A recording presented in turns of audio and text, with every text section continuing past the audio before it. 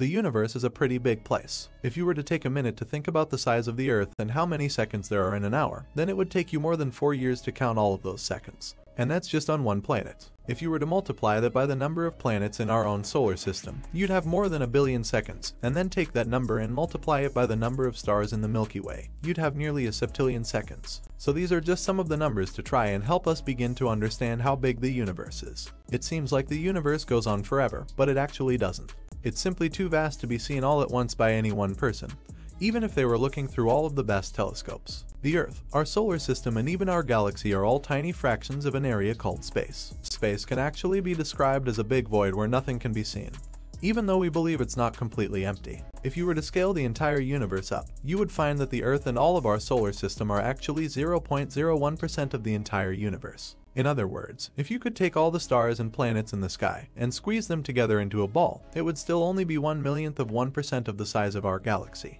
The universe is constantly expanding, so it's possible that there is life out there that we haven't discovered yet. Scientists estimate that there are between 200 and 400 billion galaxies in the observable universe, and each one can have up to 100 billion stars. The closest galaxy to our own is the Andromeda Galaxy, which is 2.5 million light years away. Even if there was life on one of those planets, traveling at that speed would take thousands of years. So even if aliens did exist somewhere in our galaxy, it's possible that we would never be able to see what they look like or meet them anyway. People have tried to find signs of life throughout the universe for hundreds of years. There have even been television programs about it. Back in 2004, a show called Finding Life was broadcast on the National Geographic Channel. It focused mainly on trying to detect biological and chemical signatures in space. The crews placed a massive array of sensitive detectors around the world and they were able to pick up an astonishingly high number of cosmic rays. This is just one example of how powerful our instruments are, now that would have been impossible not too many decades ago. In October 2005, a NASA spacecraft called Dawn was launched to the asteroid belt between Mars and Jupiter.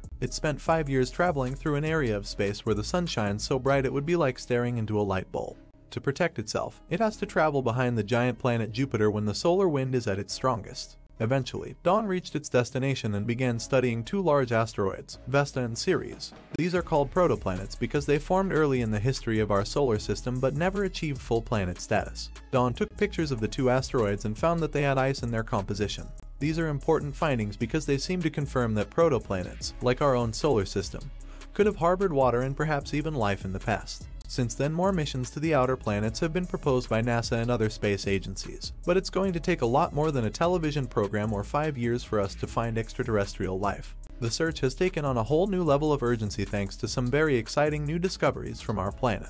We've learned a lot about how living organisms work and what they need in order to survive. Some of the oldest life forms on Earth are microscopic organisms called microbes. These tiny creatures can survive on very little food and water, so if there is any water available at all, it's possible that there might be life in those places. Humans actually depend on microbes to provide them with oxygen through a process called photosynthesis. There are many scientists who believe Mars is the most likely place where we will find other living organisms because it is much like Earth in many ways. It has seasons, polar ice caps, volcanoes, and dry riverbeds. A few years ago, NASA sent a rover named Curiosity to explore the surface of Mars and look for signs of water or any traces of life. The rover landed Mars August 5, 2012, and just within 51 days, Curiosity rover found direct evidence for an ancient streambed and Gale crater, suggesting an ancient vigorous flow of water on Mars. While there is still no conclusive proof of life on Mars, it's not too early to be looking for the possibility. Some scientists are working on ways to try and detect life forms through their radio signals. Since our planet traverses a huge area as it orbits the sun,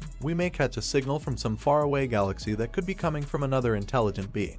While the possibility of finding another intelligent life form is slim, it's certainly possible. The existence of a vast universe inhabited by millions, if not billions, of galaxies means that we are likely to be just one among many intelligent species that live out there and although it would be exciting to meet an alien species, I don't think it should hold us back from progressing as a civilization. Science and technology are making our planet a safer place to live. We understand so much more about how our bodies work, we're finding new cures for illnesses, and now we can use our technology to travel through space. I believe that if we find life in the universe, we will not just think oh look what those aliens have done. Instead, it will inspire us to get out there and start exploring.